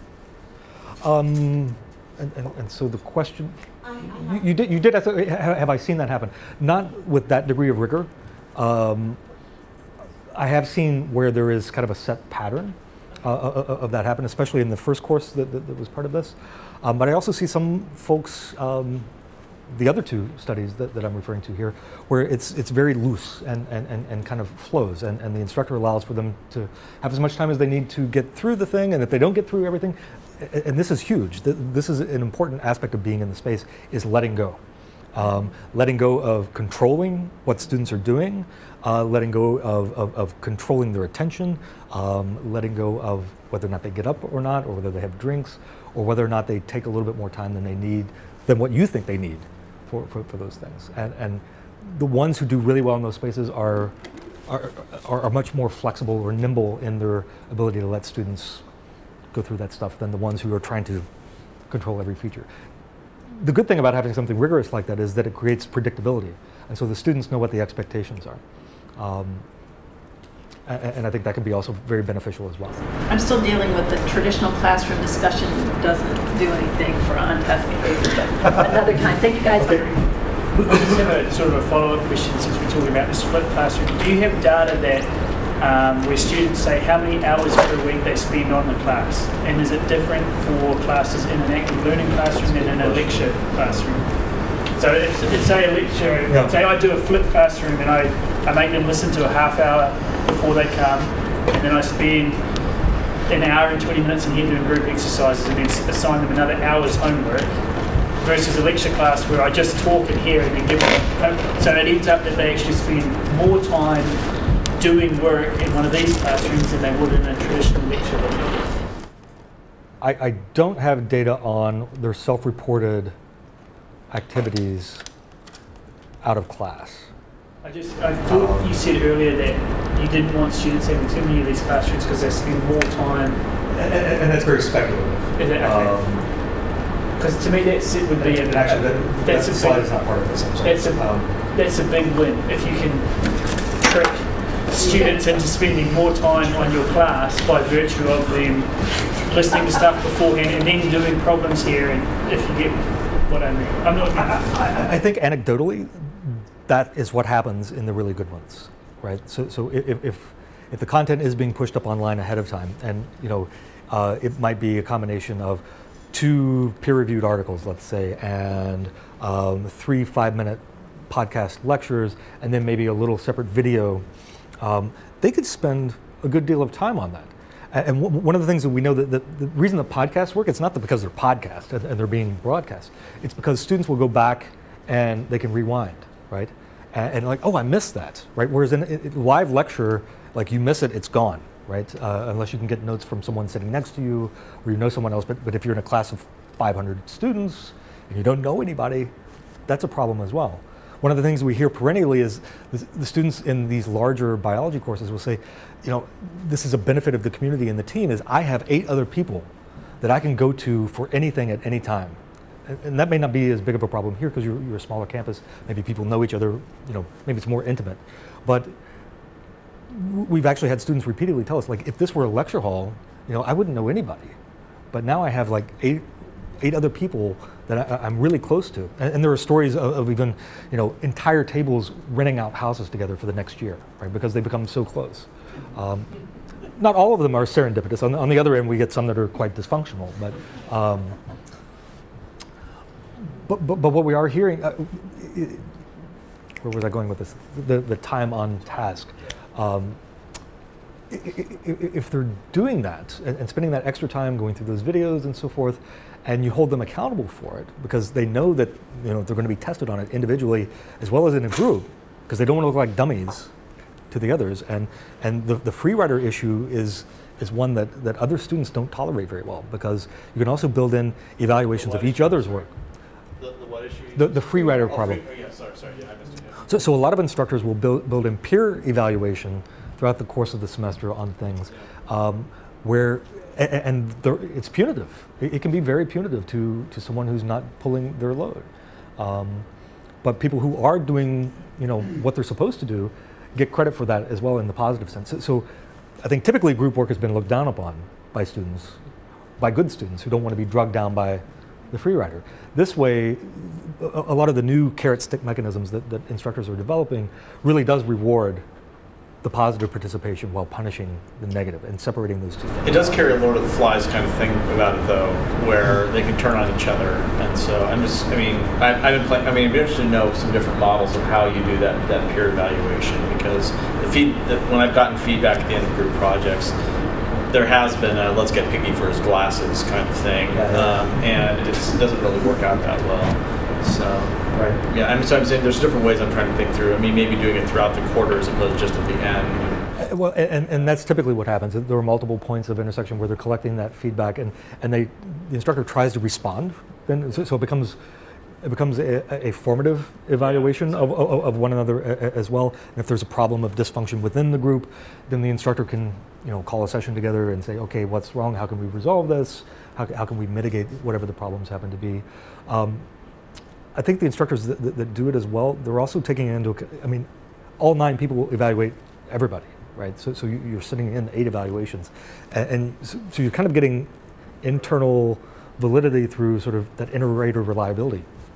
Or not, not validity, internal reliability, because if, if only one person is really hating on someone, everybody else is pretty cool with them, it's probably an individuated thing. Um, the problem would be is, you know, if you are getting picky for his glasses, uh, there's no way to necessarily suss that out unless qualitatively it's obvious that, that something is, is askew, right? Um, that, that they're just sort of out to get them for the sake of getting out. But, but that would be harder to suss out, I think. I've got two questions. One of them is sort of to follow up on the group uh, issue. And do you have any uh, anecdotal evidence of having to intervene when groups become really? I my question. I deal with graduate students, and we have uh, a very different kind of integrative type learning where the same students go through a cohort the Right. entire time and a lot of what they do is in a group and so I spend quite a bit of my time trying to make the groups sometimes get along. Because, I mean, And the longer that they spend together, the more those fissures become. yeah, they're, they're too. huge issues. So, um, do you have information about that? And then my second question is, in terms of the flipped classroom, uh, do you have any evidence of there being backlash sometimes? Because sometimes when I have done the external stuff where I've recorded lectures and those kinds of things, the students will say, well, you're really not doing a whole lot now because we're having to do all of this stuff outside of class and then we're doing this and are we really learning anything? And then, you know, what are you really doing? so we're doing all this work and you're not doing that much. So that's the kind of backlash I've got a couple times when I've tried that. And I wondered if that was a typical kind of thing that you'd heard or if mine was unusual. I think the places that we heard that kind of thing came when those juniors and seniors were kind of hating on the space. Um, was it adjustment? it it was adjustment because I mean, part of what was going on was a little bit of that. I mean, a little bit of the flip thing. We weren't calling it flipped then, but but from the ed tech fac- faculty development side of things, I mean, this is a recommendation that we've been making for a long time, right? One of the ways that you can recapture classroom time is to put that stuff up online, and and so those juniors and seniors who, like I said, had kind of figured out how to get their grades in their majors by taking notes and listening to lecture weren't happy about that. I actually think that approach is a little bit more ubiquitous now. It's getting a little bit more traction and more people are doing it. So it's not as unusual of, of, of a thing, and I really haven't heard sort of the, you're not really doing the job, because I think folks understand. So that kind of, that's the part that you said sort of collapsed in your research, is that the, with the juniors and seniors, once Right. they sort of left, everybody, it, it began to collapse. So you're not seeing that as a long-term? Not seeing it as a long-term difference there, and, and I don't really know that I've ever heard anyone say, you know, sort of be down on the instructor for not sort of doing his or her job. Um, in fact, I think I think they understand quite well that there's a lot of coordination that goes on behind the scenes to make make, make that sort of thing happen. We've had success in team projects by using team charters and just having them as a group agree on how they're going to work together and what the goals of the project are. And I could see a table charter working quite well where you're, you know, whatever that's been laid out in terms of the group assessments that here's, here's how we're going to agree to work together and, and there aren't going to be any uh, freeloaders uh, and if we, if there is somebody freeloading, here's how we're going to deal with them, and we define the steps. And one of those is that we take it to the instructor. So How, how, how soon in the, in the term do you I- draft that? in a in a group project, that's the first. Uh, I use like a, a five phases, and that's the first phase. And um, Can you circulate that Yeah. information? Yeah, That'd I've be done- cool. Yeah, it's Palloff and Pratt as the original, but I've changed some of the questions. Okay.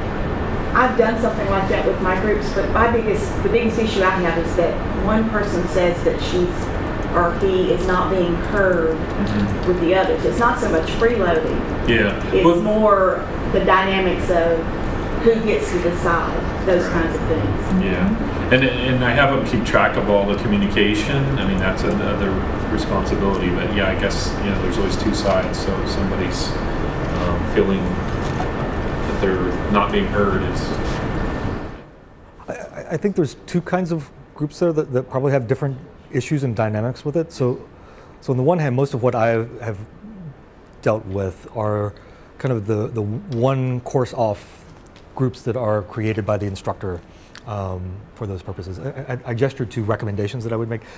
Again, I, I wouldn't let students form their own tables. Um, um, the folks that run the big biology section, they take great pains to sort of go through, comb through the demographics and to sort them out and, and, and to kind of construct the group types that they want. Um, I've heard them say under the auspice of kind of having an even distribution, which to my mind, just randomize it then if that's what you're looking for, um, which is probably what I would do. I would probably just kind of put a random number generator in there and, and, and spit it out that way.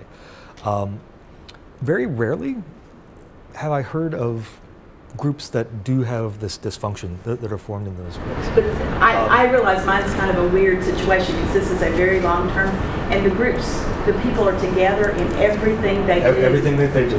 From the beginning to the end. Yeah. And uh, they, they switch groups sometimes, they reallocate them, but it's the same personalities and it's a fairly small group in and of Yeah. itself that goes through, so. And, and that sounds like, I mean, our vet med school does that. They- Yeah, it's similar, similar cohorts that, that, like that. play that way. And usually issues about those cohort dynamics or group dynamics are taken care of at the administrative, level. I mean, like the instructor or the department will figure out some mechanism of doing, of dealing with that. But, but, but since you mentioned that, great research opportunity that we're playing with now and that you might want to think about doing is doing a longitudinal cohort study, panel studies of folks in active learning classrooms. So the vet med school is looking at building a space similar to this in a pre-existing space that is, uh, oh my gosh, it's, it's, it's kind of, it, it- it's like laboratory carrels um, that, you know, and each person has the name on it and it's a locked drawer and, and very limited amount of surface space and so forth that they're all in. And you know, everybody has their space and they go to the, and that's where they do, do a lot of work. And so we're going to baseline um, a couple of cohorts above, and then next year, I think, beginning with a new cohort that comes in. So we'll, we'll, we'll you know, folks that have never had active learning classroom experience have gone through that. We're going to baseline this, this newest group, and then they're going to tear that down, and they're going to build the new active learning classroom space. And then we'll baseline another cohort there, right? And we will essentially track the grades in this course as well as sort of using survey data on the back end to look at how the perceptions of learning and so forth take place over time, and also play with some of the faculty who are typically lecturing in that space, right, versus those who are now going to be doing much more kind of active techniques. So, so we're changing the space, but we're also going to look at changing the instructors that, that are playing with it and trying to control, let, let, let the students as the panel, right, serve as their own controls for, for, for that data over time. And our expectation would be then that the students who have never had the active learning experience will have learned, and we're going to use standardized like vet med board tests as a way of getting at this, um, that they will perform more poorly than those who have had a, a mixed experience, and that those who have had a full active learning experience at the end should should perform better uh, on the boards related to that particular course. But we're, you know, I mean, this is this is going to be like a five or six year panel study that we're doing in cooperation with them. So another good thing to think about if you're wanting to to play with that baseline groups that are coming in as cohorts, because from a statistical standpoint, they, they can serve as their own controls um, throughout, um, and allows you to do uh, um, fixed effects modeling and, and that sort of thing, which becomes really fascinating. We've got about 15 minutes left, so we have questions that haven't been answered. So have they written a book yet on how to use active learning classrooms? Uh, what was the question? Have they written a written a book on how to use an active learning classroom? Oh, right. I, I- I'll leave that up to my faculty development colleagues. Uh, I, I, my, my role, a- a- and I have two other, well, I have one other colleague that's full-time doing research, and then we have another guy that's 50-50 and another guy that's about 33% FTE to the research team. And we are sort of misfits from other disciplines that have fallen into to this job by, by, a virtue, by a range of circumstances. Um, and we tend to be fairly techno- technologically agnostic as a research team. We, we are the skeptics. Uh, we do buy into the notion that you need pedagogy first, and then you wrap the technology up in that, or you, you you figure out figure out how you want to actually use it and make it effective. Um, and the faculty development folks have some pretty good ideas, uh, you know, about how to pedagogically incorporate technology into the classroom, and, and they take into account a whole series of issues attached to that as well. Everything from, from you know, third-party vendors to you know, privacy issues and all, all of that kind of thing in, in using this stuff. From the research side, uh, if, if, if there's something to be explored, uh, we're basically looking to see whether or not we get learning gains.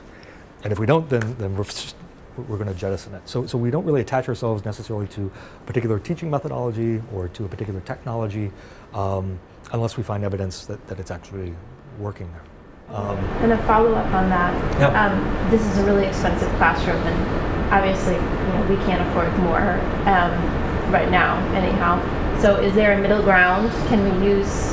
I mean, I know Ruth talked about, you know, forcing, and not just active learning, but making more of this kind of experience without buying the entire classroom.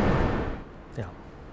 I have one more thing to say on your previous Okay, question, and, and- then I'll answer that. We, our research team is editing a volume on learning spaces for the New Directions for Teaching and Learning series, uh, and it, it's all rooted in actual research on the impact of the spaces, and we've got contribu- contributions coming from Iowa, Wisconsin, um, Minnesota, of course, uh, and, and I'm, uh, I think Bob Beichner's writing a chapter for us on that, and, and so that'll be coming out, I think, in 2014. Um, so, so, so there is a kind of a book, an edited, you know, journal volume. In terms of thinking about scaling this kind of space, um, try to remember if I've talked about that in this or the earlier session. No, the other one. Um, the most important technology in the room is are the tables, uh, and because that creates. It's not that the tables are doing anything to you, it's the opportunities that the tables create for you to see one another and to interact with one, one another. And for, you know, as an instructor, for me to say, okay, three groups of three, you know, do, do your respective things. And, and um, that constructivist um, approach to learning is really what, what those tables facilitate. Moving up the hierarchy for technology in the room that, that matters, I, I would say that the next, there are probably two others that, well, let's layer them on uh, this way. Projector. You definitely need a projector to show information as the instructor. You need some sort of instructor uh, podium that, that allows you to, to do that.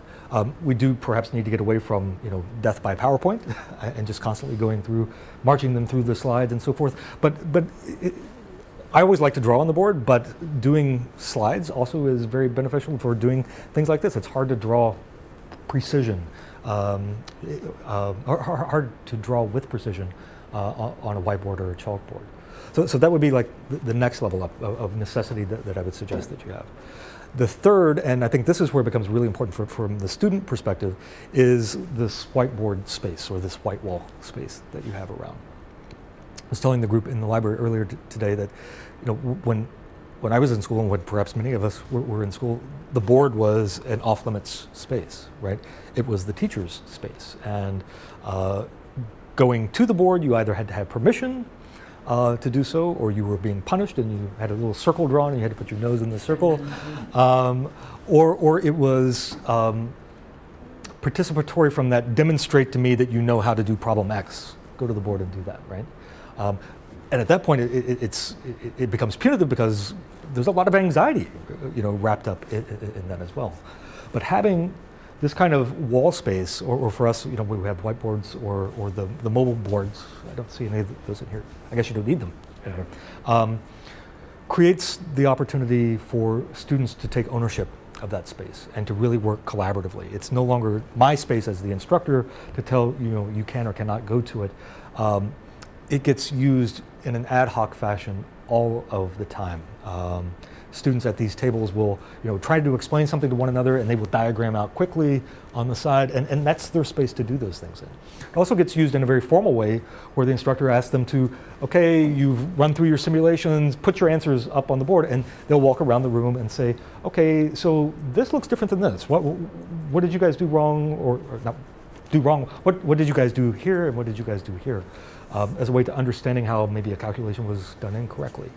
Um, but having that space for students to work together collaboratively in, in a very sort of low-tech way is, is that next level, I, I, I think, of what you need. Um, and probably getting at, at, at, the upper level would be the, the display screens. Um, that, that, that's the, the, the, television screens. Um,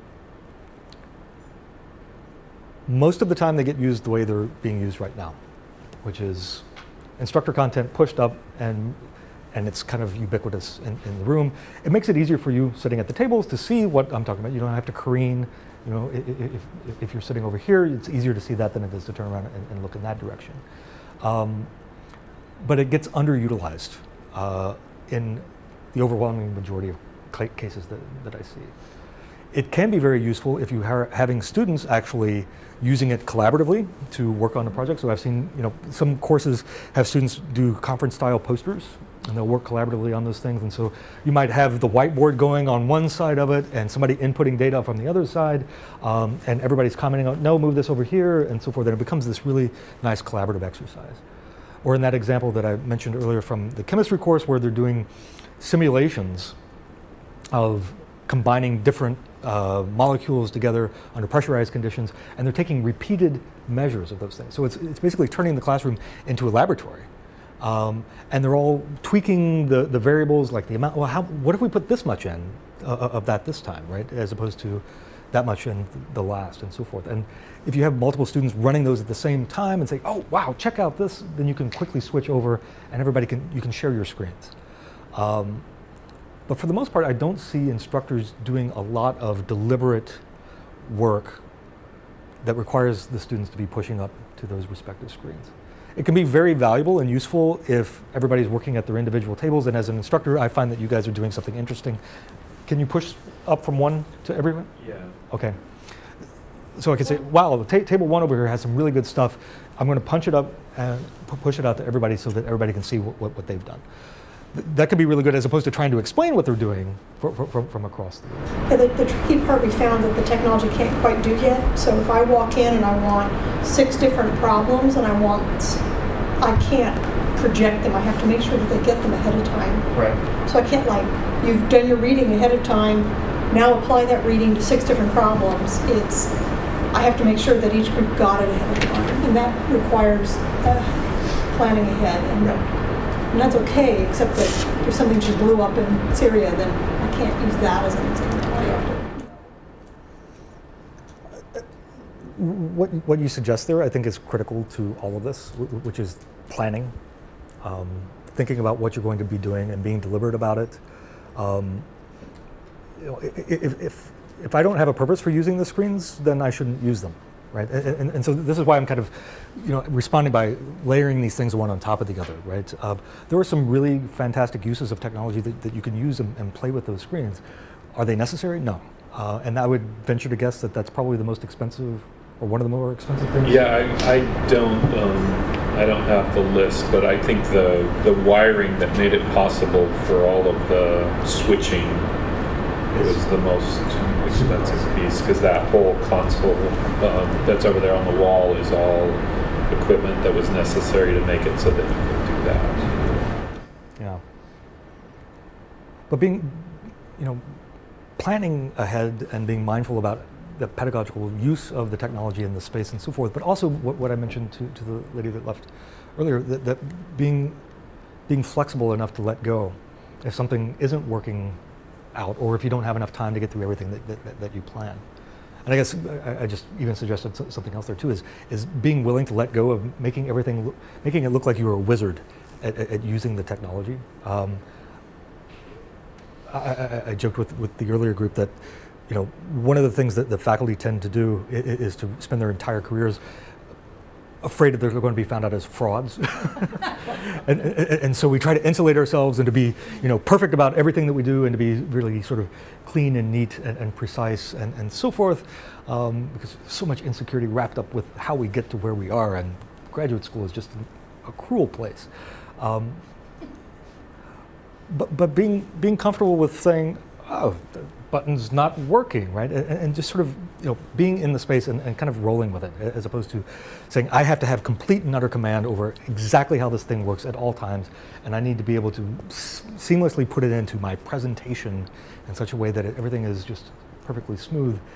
Um, can really just actually be disruptive uh, and, and, and really hinder you know, one's willingness to use the technology in the space, uh, or, or even to think about changing their, their pedagogy at all. And, and if you're, if you can just relax about the technology, um, and I'm not suggesting that any of you are technophobic, but just letting go of, of, of that kind of control as well, and being willing to kind of roll with it is, is good.